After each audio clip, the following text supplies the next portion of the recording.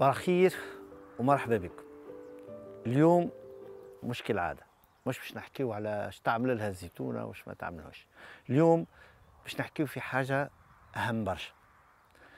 آه، الجمعة هذه والكل يعرف معناها سبعة مارس وملحمة بن قردان والتصدي اللي صار للإرهابيين اللي حاولوا يزعزعوا بلادنا.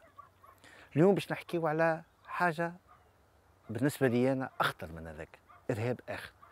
إرهاب عابر للحدود. إرهاب ما تتحكمش فيه. إرهاب إذا دخل آه، ما فماش جنود ما فماش آه، اللي باش يتصدى له؟ وهذه هي الآفات والأمراض العابرة للحدود اللي تهدد بلادنا واللي الناس الكل تقريبا ما همش شاعرين بالخطورة. علاش؟ لأن الآفات هذه لا قدر الله إذا دخلت ما ينجم يشدها حتى حد. باش نحكيو على أمراض اللي تضرب الزيتون. برشا يعرفوا اللي مدة سنوات إيطاليا تخللها المرض هذايا. تخللها بالصدفة. تخللها على خاطر إنسان جاب شجرة تاع قهوة من كوستاريكا وجاب فيها مرض. مرض هذايا بكتيريا اسمها جزيليلا فاستيديوزا اللي تضرب الزيتونة وضيعوا ملايين الزيتون في إيطاليا اللي تحرق أصل. مات. تقولش عليك شعلت فيها النار. والمرض هذايا ما يشدوا شيء. لو دخل لتونس لا قدر الله. تقولش عليك شعلت نار في التبن. معناها باش يغم الدنيا الكل. بإمكانياتها إيطاليا. بوسائلها. ما نجمش تسيطر عليه في الجنوب الإيطالي الكل.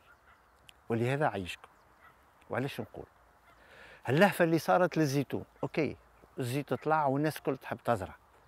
اللهفه اللي خلات حتى الأسعار طلعت. مش مش مش النباتيه راهو الفلاح أنا انت اللي جايين اليوم قررت في نهار وليلة تحب تزرع ألف الآخر يحب ألفين. وهاللهفة هذه خلات الأسعار طالعة. وهلات اللهفة هذه خلات العباد فما تجيب من برا اللي هو ممنوع منعا باتا. قاعدة سلعة تدخل من من شقيقة ليبيا. كان جات من ليبيا برك أبرك. لكن هذه جاية من بلدان موبوءة فيها المرض. كما إيطاليا إسبانيا فرنسا البرتغال.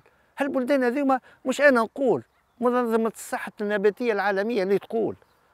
وهالمرض اللي هي بكتيريا ما عندهاش دواء. والأخطر اللي الحشرة الناقلة نتاع المرض هذايا موجودة في تونس.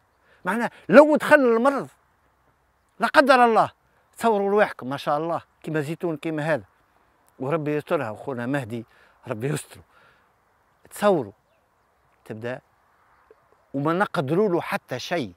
المصيبة ما فيهش الدواء هالمرض هذايا. وإحنا بدون شعور. قاعدين نجيبوا وقاعدة تدخل بطريقة غير قانونية بالطبيعة. وقاعدة الفلاح يشري ماهوش فاهم. أنا نقول لكم يا خويا وباش نحي كاسكات مبروكة اليوم. رانا تونس الكل. المنابتية اللي يخدموا بطريقة قانونية واللي عندهم شهادة الأصل واللي هما مراقبين مع وزاره الفلاح الكلهم باهيين وأنا ننصح الفلاحة ما تشريوا من عند حتى حد. إلا المنابتية اللي مراقبين من وزاره الفلاح إلا المنابتية اللي طبقوا في القانون إلا المنابتية اللي مراقبين. وربي سامحهم برشا تجار اللي أنا نقول بدون وعي. دخلوا في هالمتاهات هذه ويجيبوا في مشاتل غير مراقبة وداخلة من ليبيا واللي هي أصولها جاية. أنا شفتهم بعيني وزارة الفلاحة كيف كيف شافتهم. داخلين من إسبانيا داخلين من إيطاليا. ونعاود ونقول المنابت التونسية قادرة باش توفر كل شيء لكن خويا الفلاح مثالش اعمل برنامج قول عام جاي باش نزرع. وامشي اعمل كماندا بتاعك. أول حاجة هاللهفة هذه وهالأسعار اللي طايرة من غير سبب؟ وثاني حاجة تعرف إيش زرعت؟ ثاني حاجة عندك فاتورة عندك شهاده الأصل. ما نحكيش عاد على التجار اللي صارت قبل اللي تحب هذه هذه معناها ما عادش عارفين إيش قاعدين نظر على الفلاحة راهو. راكب قاعد تشري ماكش عارف شنو خالصة. إذا تمشي في السيركوي ماهوش منظم. راك اليوم زارع أنت شملالي والله أعلم غدوة باش تلقاه. أخطأ هذا إذا نظيف. لكن تصور إذا لا قدر الله قاعد تصرف الفلوس هذه الكل. وقاعد آه، عامل المستحيلات. ويجيك المرض غدوه وإذا جاك راهو ما جاش ليك أنت. جا لتونس الكل. وإحنا عندنا ثروه كان مش هالزيتونه هذه. عايشكم. بارك الله فيهم وزارة الفلاحة قاموا الأسبوع هذايا كيف كيف. بعمل تحسيسي في الجنوب للديوانة وللحرس وللجيش لكن الكلنا اليوم جيش الكلنا حرس الكلنا ديوانة. يلزم عينينا. مش معناها ما نزرعوش برك لكن نعلموا على السيد اللي قاعد يدخل. راهو كما قلت لكم المصيبة اللي جات في إيطاليا جات في شجرة قهوة جات من كوستاريكا. لكن الشيء اللي صار في إيطاليا راهو مهول راهو ما عندكم حتى فكرة. تصوروا ملايين الزيتون تحرق وما قدروا له شيء. ونعاود. وأنا متأكد من وعي الفلاح وعي التونس لأن هذه بلادنا يلزمنا نحميوها باش يحافظ عليها.